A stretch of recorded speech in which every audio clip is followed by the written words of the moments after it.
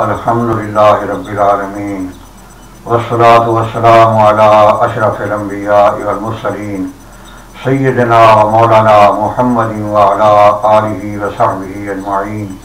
أما بعد، قال الله تبارك وتعالى في القرآن المجيد والفرقان الحميد أعوذ بالله من الشيطان الرجيم. بسم الله الرحمن الرحيم.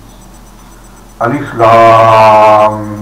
ذالک الكتاب لا ریب فیہ هدى للمتقین الذين يؤمنون بالغیب ويقيمون الصلاة ومما رزقناهم ينفقون. صدق اللہ العظیم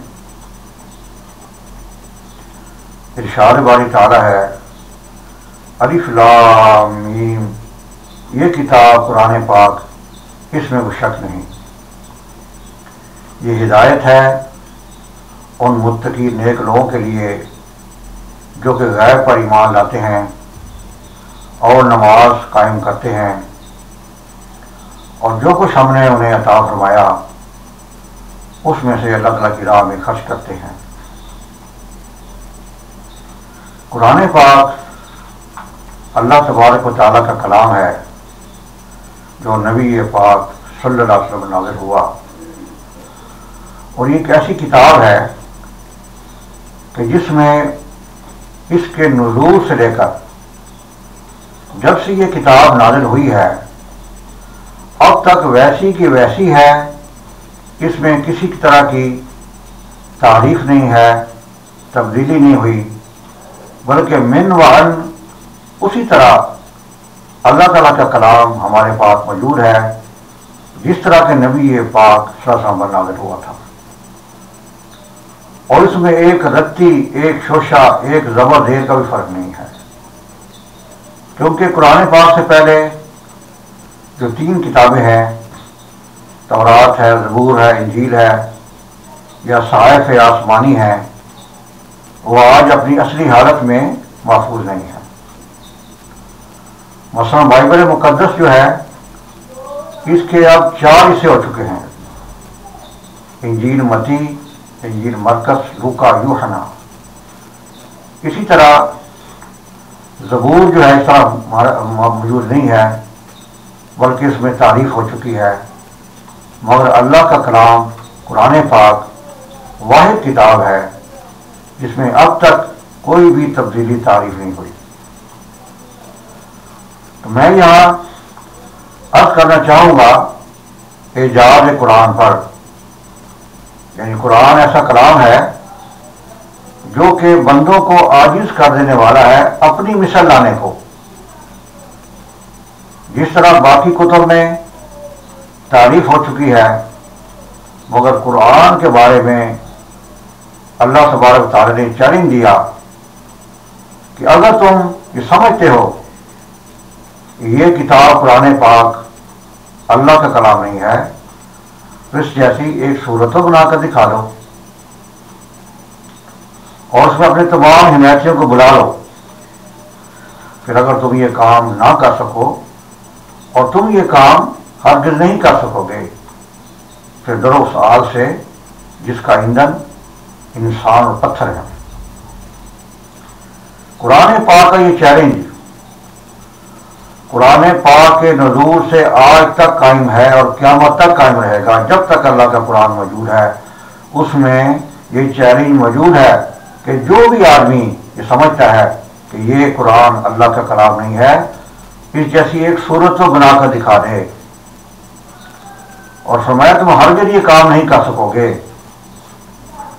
تو یہ اللہ کا چیلنج اب تک قائم ہے۔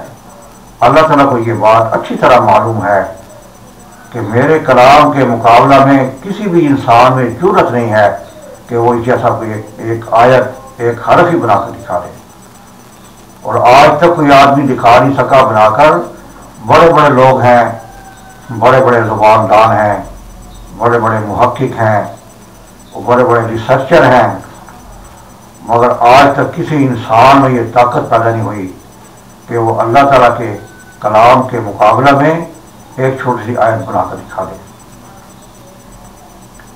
اگر یہ قرآن اللہ کا کلام نہ ہوتا، تو یہ قرآن عربوں میں نازل ہوا جن کی ماضی زبان عربی تھی۔ جس شخص کی ماضی زبان عربی ہو، تو وہ کہہ سکتا ہے، یار، یہ کون سی بڑی بڑی مشکل بات ہے؟ میں ابھی بنا کر دکھا دیتا ہوں۔ ابھی میں سورج بنا کر دکھا دیتا ہوں۔ ابھی یہ میں کام کر سکتا ہوں۔ ایک شخص نے عربوں میں جرت کی اس نے میں بنا کر دکھاتا ہوں۔ اس نے جو کلام بنایا وہ آپ سنیں۔ تو اس نے قرآن کے مقابلے کون سا کلام پیش کیا؟ وہ سائی فرماتے ہیں کہ دیکھو، یہ میں نے قرآن کے مقابلے ایک آیت بنائی ہے۔ وہ آیت کون سی ہے؟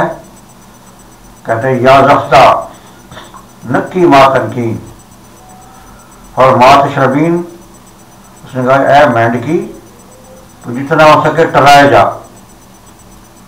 نہ تو پانی کو گدلا کر سکتی ہے اور نہ ہی پانی کو کسی کو پینے سے منع کر سکتی ہے۔ دیکھو میں نے کلام بنایا ہے، قرآن پاک کے مقابلہ میں۔ صرف ہریان، جیسے کہتے ہیں کوئی آدمی، جس کا دماغی توازن درست نہ ہو اور وہ بہکی بہکی باتیں کرتا ہے اسی طرح اس کا یہ کلام ہے۔ تو میں نے یہ مثال پیش کی ہے کہ اللہ کے قرآن کے مقابلہ میں کسی انسان میں ضرورت نہیں ہے کہ وہ اس کے مقابلے کو ایک آیت، ایک لفظ بنا کر دکھا دے۔ اور قرآن پاک میں حروف مقطعات ہیں۔ لام نور قاف، ہا، یا، عین، سواد، یاسین۔ تو ان کے بارے میں مفسرین کرام کما مفسرین کرام کا تمام علماء کرام کا متفقہ فیصلہ ہے کہ اللہ عالم بے مراد ہی۔